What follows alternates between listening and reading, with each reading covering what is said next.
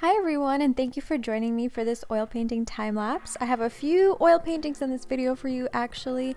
I recently purchased some slices of agate on Amazon for the purpose of painting them.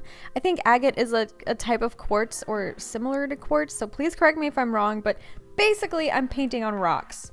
We're painting on rocks today. I saw them and thought, ooh, that's pretty, and then I bought them, so now we're gonna paint on them. I sanded each slice before painting on it with a gritty sandpaper, though it's really hard to scratch up the surface of a rock using just sandpaper, and it required a lot of effort on my end, but it's worth it to give the surface a bit more tooth for the paint to grab onto, even if on a molecular level I'd say it's better than nothing. But next time I'm going to get a sandpaper with way more grit.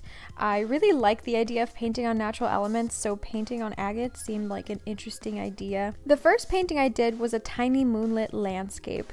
The paint applies so smoothly. If you use glass palettes for oil painting, that's basically how it feels.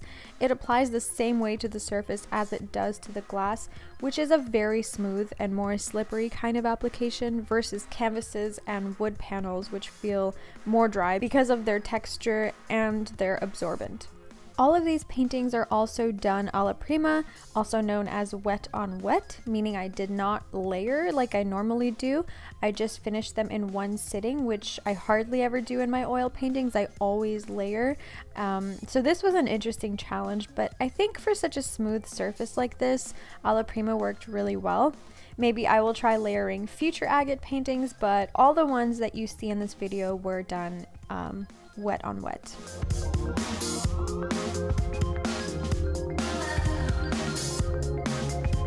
The next painting I created was an eye. I love painting eyes, that is no secret if you've been around here on my channel for a while. And I'm self-aware, trust me, I'm always making sarcastic commentary about how totally unique and original it is.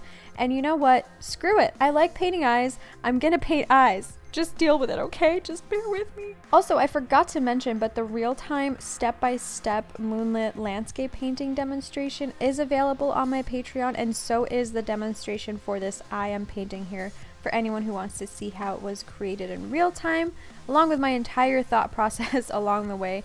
Those two demonstrations are on Patreon. Painting eyelashes always freaks me out, especially when I'm painting alla prima, because if you screw up, it's kind of a mess to try and fix. When I work with layers, I wait for a layer of paint to dry before moving on and painting further, so if I mess up, I can easily just wipe it off. But with alla prima, not so much. There's still ways that you can correct it, but you're kind of limited there once you place that dark paint down. So yeah, painting the eyelashes was scary,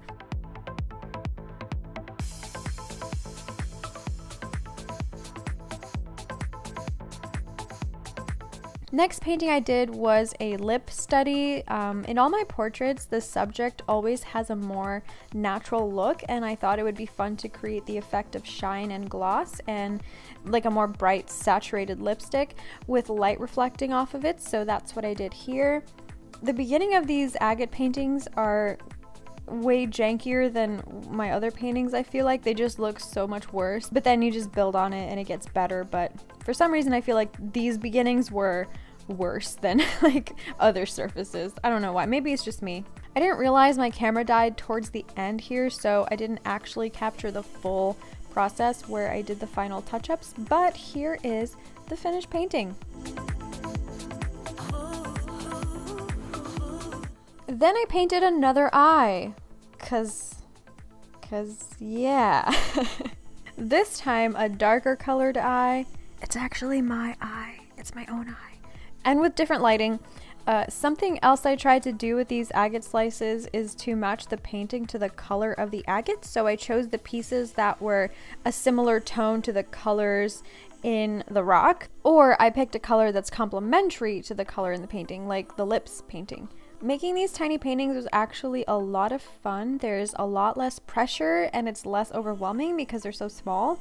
And I think if you are learning how to paint and you're afraid of wasting your paint, try making really small paintings for practice. It obviously doesn't have to be on rocks. you can use canvas paper and it's so much more cost effective. Like you get a whole pad with multiple sheets and you can chop them up into small pieces and you don't feel as bad if you mess up and make something you don't like. You get to practice all the same skills but on a smaller scale. So yeah, I recommend using canvas paper because you can just slice them up and you don't feel intimidated by a huge canvas or like you're gonna waste the canvas or your paint. I also painted another little landscape onto one of my blue agate pieces, but I didn't film that one, so I apologize, but here it is.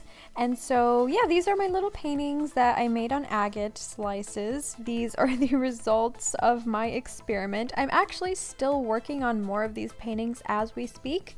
They're so much fun, and all of these are currently available in my art store, and for so much less than what my originals usually cost because they're so little. But yeah, thank you guys so much for watching. I hope you enjoyed this painting time lapse. Be sure to subscribe if you'd like to see more art from me. I've really been trying to be more active on here again, and I really missed you guys, so thank you so much for watching. And thank you so much to all of you who bought something from my art store. Callie and I have been packaging all of your orders with love, and clearly she does most of the work, as you can see. I have an updated art studio and plant tour coming soon, but I want to know if you guys want those two combined in one video or a separate video for the art studio tour and a separate video for the plant tour. Uh, please let me know what you prefer, whatever your thoughts are in the comments. I'd love to hear from you. I'm wishing you all a beautiful and inspiring day, and I hope to see you in my next video. Bye, guys!